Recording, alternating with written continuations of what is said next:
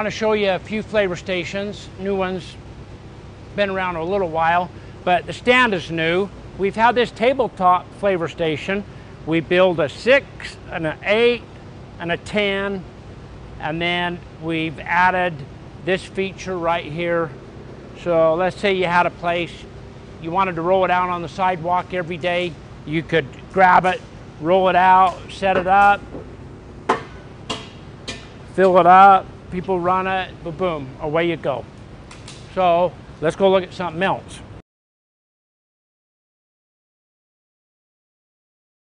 I'm going to show you today our um, one of our new things. We're always coming up with new things, making it better, making it easier. Um, if there's anything new and neat for doing shaved ice, it probably come from us.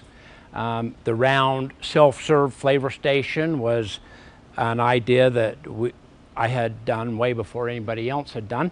The beauty of this one, which is what we're talking about, is if you're alone, this is a lot easier to set up. It's pretty hard to set up the one, but it, when you get it set up, boy, is it nice because um, all you are is handing out cups of snow and people are walking over and getting their own flavor, uh, taking their time, getting what they want. Um, they, you don't have to wait for them to decide. So we have this, and it we call this the Cube 9, and you could just buy this with this cart like that if you want. You're going to see me use it on the van, but it's really not just um, limited to the van. It can be used um, like you could roll it out of your store and put it on the sidewalk. It has has a lot of lot of uses, but you can see it. It's um, has faucets on both sides, and you'll just put your labels on here, and um, and if you want, some people in hot hot areas say that the syrups are so hot they melt the snow. So um, you could stick some panels in here and put some advertising on them and dump a bag of ice up here so it'd chill your syrup.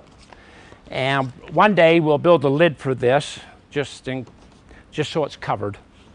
Um, so anyway, y'all understand that, I think, pretty much. So this, um, instead of me lifting out of a van by myself a great big fiberglass full of syrup round flavor station, which is impossible. It's a two-man job. I can, I can use this. I do it all by myself. So I just roll this up to the van and actually, and we, we would unlock. This would have a bigger arm on it so you could lock it and torque it down. But you take this off and now you got to be careful with it because this thing is, it'll skate. Um, it's got some wheels underneath it if you want to see them those those wheels make it so it um, scoots around easy. But so, and if you have, if you like this and you said, oh, we like that, we wish we had one that was uh, 28 tall and this happens to be 32 tall or something, um, we would cut this and make it fit for you. Or we may make one that telescopes so you can set it for this height for this truck and this height for that truck. But anyway, so the way this works is you go up to the end of your van and you uh, basically just give it a push and, and off it would go and you'd want to roll that in and strap it so you don't lose control of it and then you'd take this and I'll tell you lifting this is a heck of a lot easier than lifting the uh, this aluminum piece easier than lifting the heavy fiberglass parts especially the one that's full of syrup so we'd put that in and mount it tie it on so it doesn't tear things up. We get to our vent, we'd pull this out, set that there, pull this out. And like I say, it doesn't have to be an event. It can be, you just, you just have this and uh, you roll it in and out of your kitchen every night. Who knows? All kinds of ideas and ways for making money with shaved ice. If it's hot and there's a lot of people and you're there, you're going to make money. It's that simple. Shaved ice has a high profit. It's, it's great business, great, great business. So anyway, I would, if it was me, I would roll this over here. I'd basically put it in the traffic flow so that everywhere, all the people that are walking can't help but notice it. And they would see people filling up shaved ice with it and it would get their attention. They'd stop and they'd want one. And um, can serve two people at once, which is a big deal. I've seen my shaver, my Snowie 3000, can shave so many shaved ices that people will stand in line waiting to put their syrup on if you only have one line um, to the point they start to melt. So um, this is the bottleneck, and this is the part this is the, that um, takes the longest time to get done.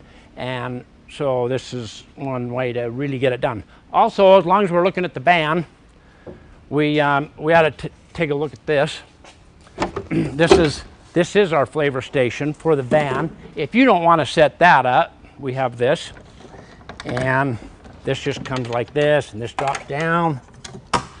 And this becomes the drip pan for it, like voila. Now, you put the labels here. These two could be blue raspberry, and so you'd have two lines coming into this. And if you'll give me a minute, I want to show you something else. Want to put it on hold? I'll be right back.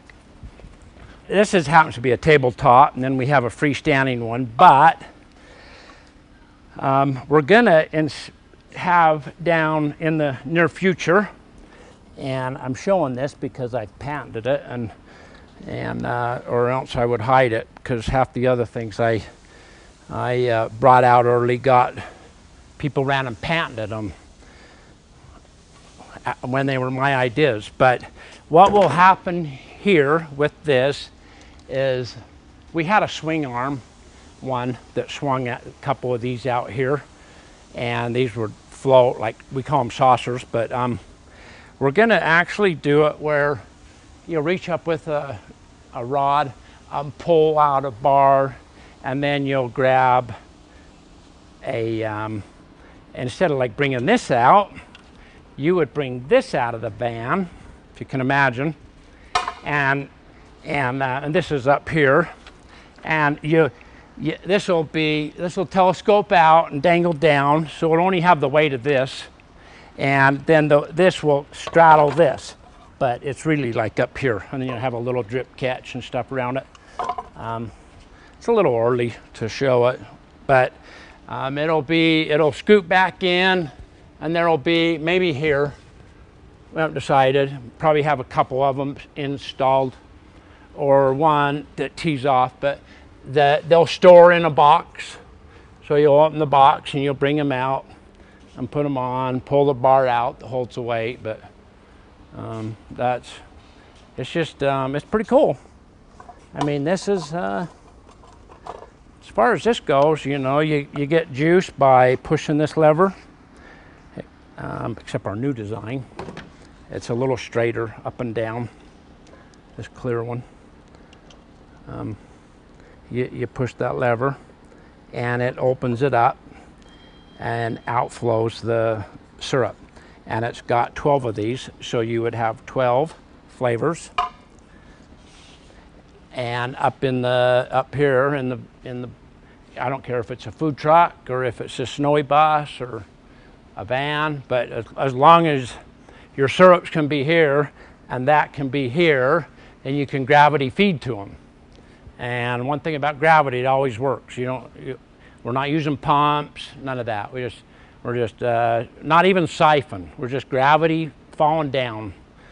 So um, that that will be out one day, and it's just one more way, just just one more thing. We're always trying to come up with things, good ways, neat things to do to make doing shaved ice more profitable. And, and uh, actually, we think of things that we want for us because we, we, didn't, we want it simple and easy. And uh, as a result, usually it's something that is um, good for you and something that you would want. Because if it works for us, it'd work for you. So anyway, thanks for your time and, and um, thanks for checking out our new stuff. Catch you later. Thanks. See you. Bye.